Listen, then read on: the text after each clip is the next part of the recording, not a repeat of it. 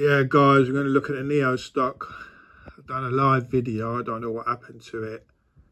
If you can hear the sound, seems to be seems to be an issue when I do a live video. It goes all wonky. Anyway, guys, we're looking at NIO stock. Trading's live. I mean, this is not a live video, but trading is open, and we're looking at it now it's the 15th November 2024, coming up to 4.14 in the UK. It's quite volatile, guys, in the stock. Quite volatile. As I said, the live video, I don't know if you listen to it, if you can hear it, but just to run over some key points, if I can remember is that I think it's got a long-term future. NIO stock's got a long-term future. I don't think we're going to see results like massive sales. I mean, sales are increasing year on year, 35% currently. But obviously it's going to take time to, you know, for, for sales to increase like a lot more. You've got the Firefly coming out December. November, you've got the revenues coming out. I think obviously they're going to increase. Insurance registrations, week, you know, if you look at them weekly, monthly, obviously they're going to be up and down. And lease cars, you know, lease buyers, lease companies buy NIO cars and rental companies. They're not obviously, they're not going to uh, insure individual cars. Like you know, there's going to be on the block insurance. So you can't really go by those figures, those numbers. And then you got um, the trades, you know, tariffs. I don't think they're going to impose, if they impose tariffs, I don't think they're going to be high because ultimately they're going to need China on board. They're going to need to do business with China. They're going to need Chinese EVs. Tesla can't meet and other manufacturers can't meet the demand, the growing demand in the future, and also the costs, production costs, salaries, etc. They cheaper in China to produce, so they're going to either buy out Chinese companies or merge with them. Also, technology wise, NIO, you know, they've got their own tech, semiconductors, etc and that's going to be a major player in the future for NIO stock. You know, for the NIO company, licensing and selling semiconductors. It's going to be all good in the future, in my opinion, not financial advice. Nothing I say in this video is financial advice, but I think it's going to be all good for the NIO stock moving forwards. I don't think we're going to see I mean, it's still a possibility in November and December we could see spikes going above $8 for NIO stock. Still a possibility, but obviously NIO's been bashed down quite hard, you know, since, well, since around five, five, five fifty, five dollars fifty. It's got bashed down now, and it's all all because of uncertainty. Also, it's a Friday. You know, Friday generally stocks on the whole do on the whole mostly you know do like fall do give way somewhat. And we're coming up to the holidays the end of the year so that's going to play play a part you know. But moving forward you know 2025 i think that you're going to see some well look the China, like China, the Chinese right they could they've got the backing, right? They've got the money. They could buy these stocks. They could buy NIO stock, see the price shoot up. Also, some big players in the US, you know, big players in the US, they, they realise they're just waiting. Obviously, they've got some concerns, but they're just waiting to load up on NIO stock. And they know that the future really in manufacturing is, you know, from China. So they're just waiting to load up big time, big, big, big time on NIO stock, guys, in my opinion, not financial advice. that's why I, I got a sense of that, you know, looking at the price action, given that it's a spiky stock, spiky price action, I've got a sense that it can just spike suddenly, not necessarily today, coming towards the end of, you know, trading soon, the weekend. But I would rather be in it than out of it moving into next week, you know. So we're going to see how it goes ultimately on a NIO stock moving forward and um, see how it pans out at the end towards the end of the year with a Firefly coming out in December, revenues coming out in November.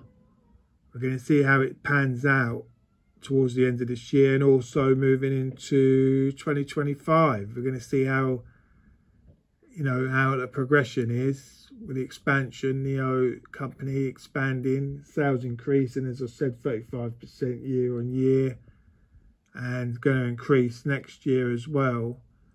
Uh, big time, I think, with the Firefly coming out and um, other models as well coming out, updated models, etc., and expanding into other countries. I don't think in the short term, NIO stock necessarily needs the US market. Like, it's not in a rush to go there. I think it's all speculation that they're kind of in a rush, but I still I think they're still expanding in China and also, as I said, like some key players, including Tesla, could merge with NIO, you know, NIO company.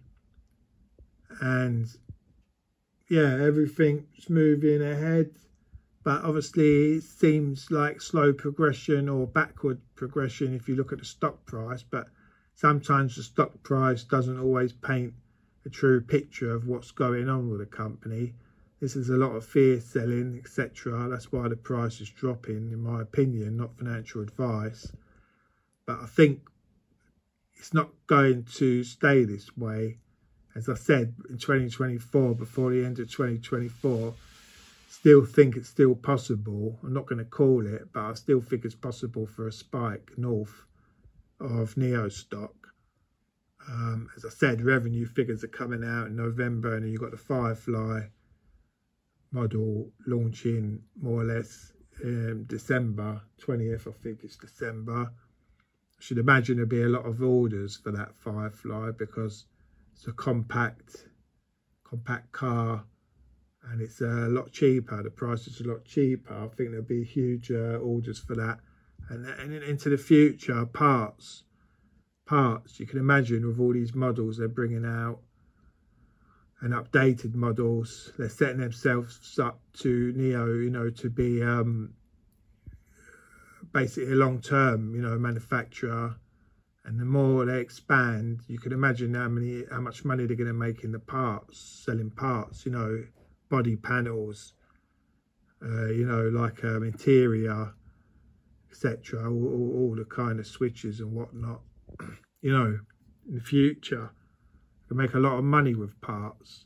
So I think you've got to be long term if you're an investor of NIO stock. You've got to have that long term outlook. You can't think, oh, stock's going down. You know, I bought it at six dollars. Look at it now. Look, you know, it's like 160 down or 160 one dollar 60 down. What's going to happen? Is it going to go? Look, NIO stock it's got to find its bottom again, possibly, you know? It's got to find that kind of, it's an oxymoron, but it's got to find a sweet spot of that bottom. You know, stock's a stock at the end of the day. Price action is, you know, doesn't think like a trader, investor. It is what it is. Inanimate it's going to do what it's going to do. So if it hits $4, let's say, hypothetically, and then bounces and starts gradually increasing, well, that's what's going to happen then. I'm not saying that is going to happen, but whatever the bottom is, that's going to be the bottom because ultimately the stock has got to go up. If it goes up gradually or if it spikes up here and there, then comes back down a bit and then spikes up higher and so on, if it moves like that, it's got to eventually you know, the more revenues they gain and lower debts and increase revenues, sell more and more and more, the more the company advances, then eventually the stock price has got to go up. And also when the big players, you know, jump on board, when they know that, you know, because you, you can't bet against China, guys. You cannot bet against China manufacturing. So this is it for long term, if you're a long term holder. Um, as I say, it's not it's not financial advice. Do what you want to do, but if you're holding, you're holding. If you're buying more, you buy more, because uh, you know, future when you see the stock, if you see the stock at a lot higher price, you'll be thinking back. Oh yeah, stock went down again, 442 as it is now, roughly. And you know, I didn't buy. I didn't buy. I could have bought. I could have bought you could be saying that, for instance, you know. So I think there's a lot of uncertainty, obviously, with NIO NIO stock with a recent post-election talking about tariffs, etc. But don't forget, Tesla get a good deal in China, guys. They only pay what is it, seven, eight percent, you know, tariff, and um, they've got a good deal, you know, overall, on all all, all sorts of uh, good good deals. So I can't see the US starting trouble with tariffs, etc. Because the long term, they're going to need China. So I don't know how that fits into the narrative of imposing tariffs and starting a trade war and all this business. So I don't really fear that aspect because although that could be a possibility in the short term, I don't think it's going to happen. I don't eh, eh, look if there's tariffs, I don't think they will be high. And even if they are, I don't think they can remain. So long term, if you're looking for long term, in my opinion, again, not financial advice, I think you got I think you've got to kind of like pan it out, you know, because a lot I've seen a lot of stocks fall. And and at the end of the day, NIO stock really is only trading within the low range it was prior to going 770. So I don't think it's um, nothing bad has happened. It's only like it rose to 770, come down somewhat. Then you had the election, and then you had talk about the registration, insurance registration numbers. And I think that was a lot of bad. They were pumping out bad, you know, press to put more short pressure on the stock, bash down Chinese um, companies on the whole. But I think that's going to reverse. It might take time to change. But I think in the future, I think that it's going to change. It's a natural progression. As I said, you can't bet against China. And um, all it is really is that costs in America, production costs, raw materials, you know, and getting raw materials, they're, they're high and salaries are high. And eventually, these big players, they know already, but they're going to be buying stocks like this because this is the future. NIO and companies like NIO are the future. They're still developing countries and emerging markets. And I think that if you bet against these stocks, NIO like type stocks and NIO, you will lose. I think, in my opinion, not financial advice again. So that's why you've got to have a long-term view. You've got to have a long-term viewpoint about stocks like NIO and NIO stock. If you're looking for profits, like, yeah, if you're looking for long-term profits, let's put it this way, if NIO stock went up before the end of 2024, to say, you know, $9, $10. Even then, if you sold out NIO stock came down to $6 and then shot up again in 2025 to $15 plus, maybe $20, $25, you'd be kicking yourself that you sold out just for a little kind of like, what you know, one double.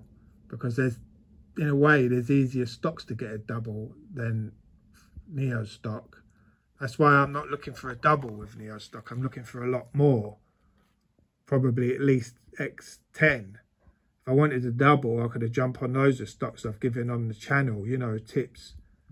Like, I've given stocks. So, which I've got more than a double from. You can go back, you can check the channel, etc. I'm not making it up, it's all documented, etc. So, anyway, guys, that's just an update because I don't know if the sound is any good on this, on the last video, the live one. I don't know what, what, what, what went wrong, why it's there's a problem or whatever. But as I said, like I'm not looking at this. It's Friday, trading's coming to an end. Obviously, then you're going to have like aftermarket trading is going to end coming up to a weekend. Um, so guys, like if you're long, not financial advice, but if you're long, you're long. If you're loading up, you're loading up. I don't know what you're going to be doing. So let me know. Let me know in the comments, guys. And if you watch the live, watch the live video and see if I said anything different. And if you can hear what I say. Because everything went wrong. I don't know what went wrong with that live. But um, as I say, guys, we just have to keep watching it. But you've got to think long term when EO's stock. I think you've got to think, definitely got to think long term because that is the kind of stock it's going to be.